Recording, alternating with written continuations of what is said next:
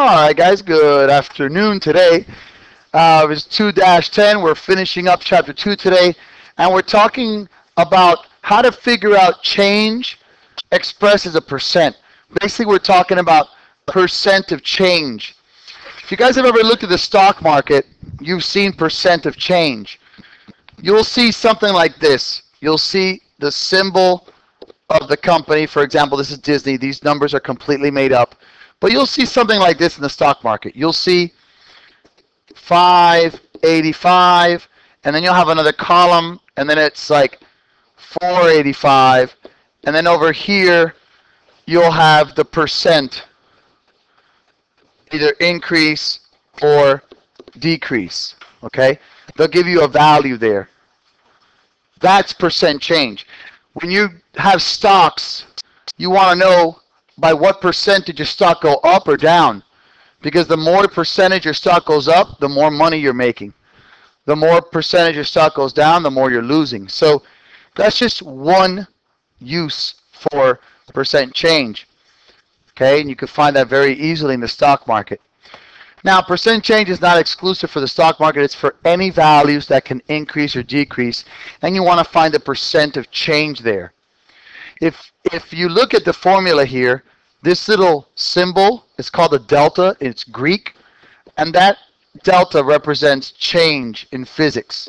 So I like to use that. So percent delta, that really means percent change, equals new. New what? New value. Minus the old value divided by the old value times 100. I multiply it by 100 because I'm finding a percent. And when I find a percent, I'm, I move the decimal two places to the right, which in other words means I multiplied by 100. That's literally the formula for percent change. So this is very easy, except for the math. The math is, in my opinion, extremely easy.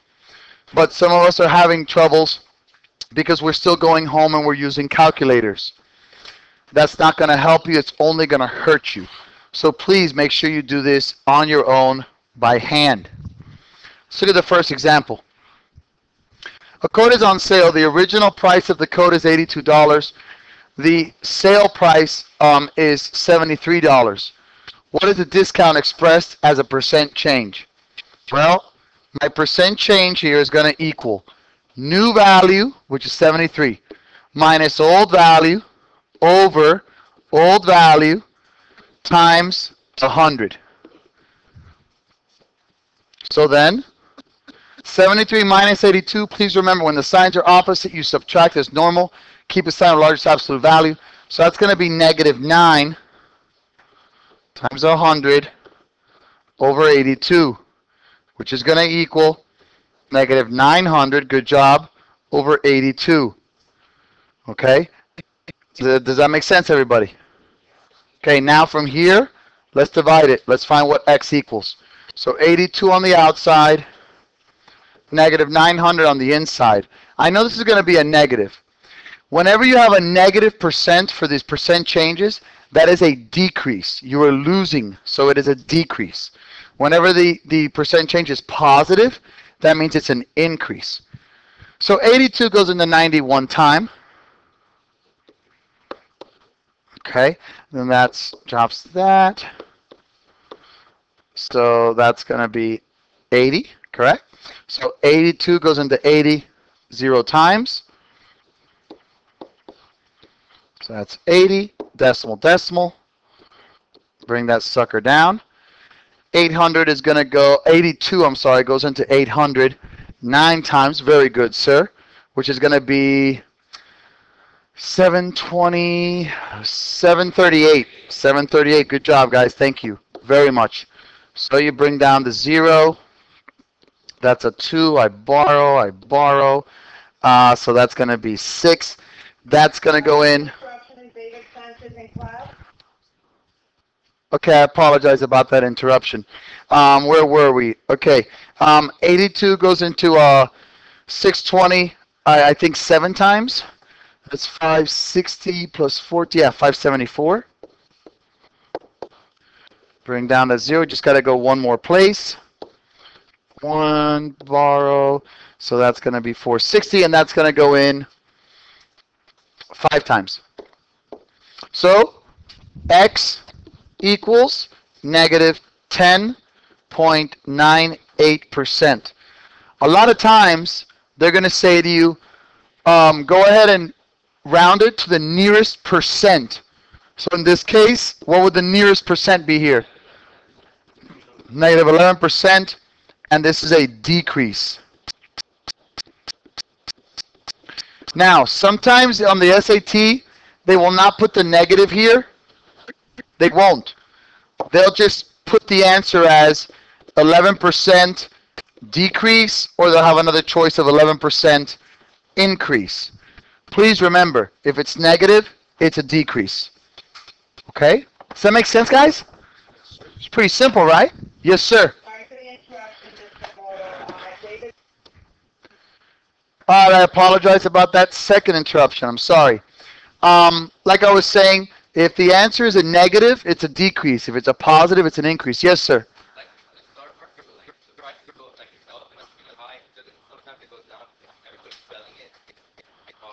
Um, yeah, we're not going to talk about the stock market right now.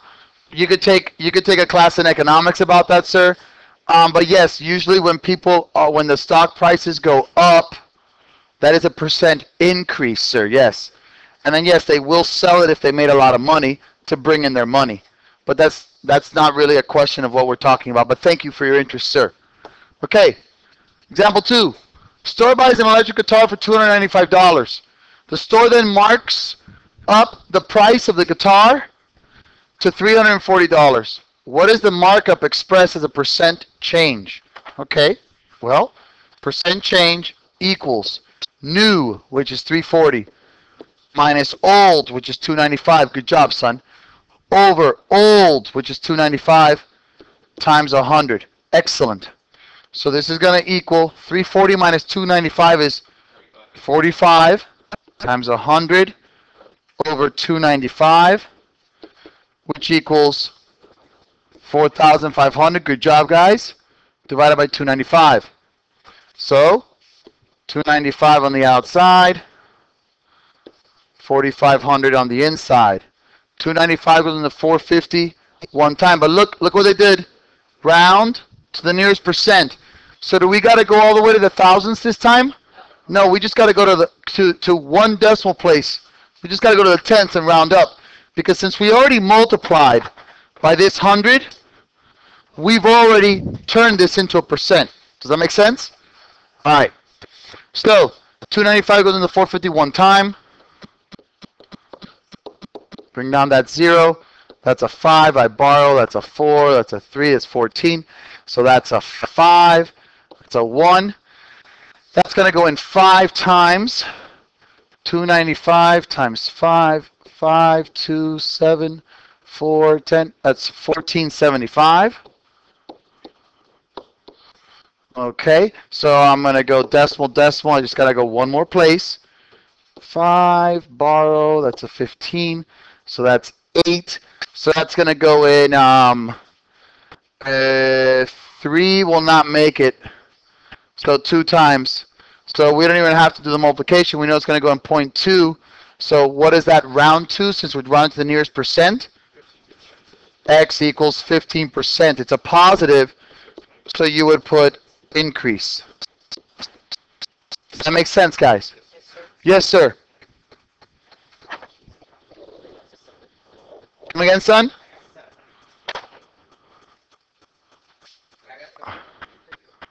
Oh, wait, wait.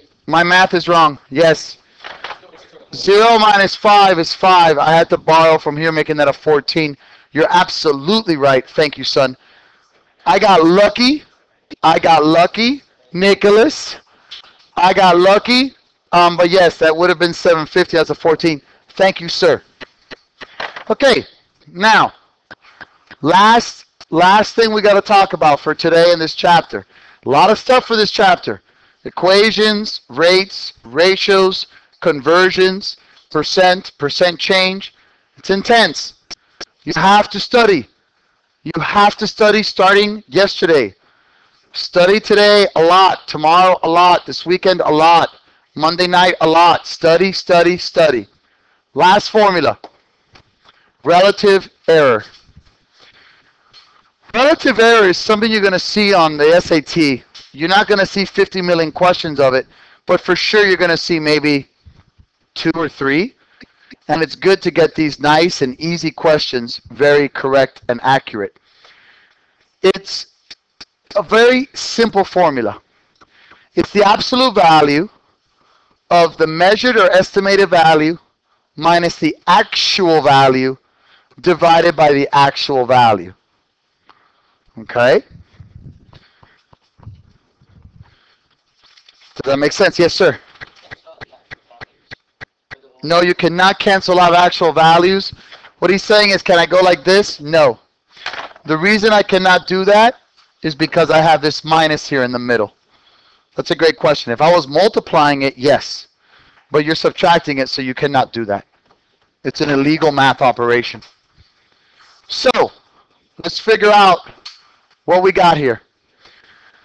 A decorator estimates that the rectangular rug is 5 feet by 8 feet. The rug is actually 4 feet by 8 feet. What is the percent error in the estimated area? So first thing, what's the formula for area of a rectangle? Length times width or base times height, either way.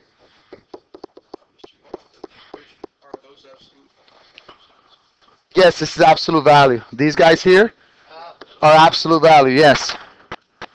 Absolutely. If you want, I can make it a little bit bigger. Okay.